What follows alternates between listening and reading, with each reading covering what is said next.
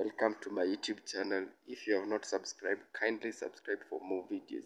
Yesterday we had amazing game whereby real madrid beated barcelona 4 nil.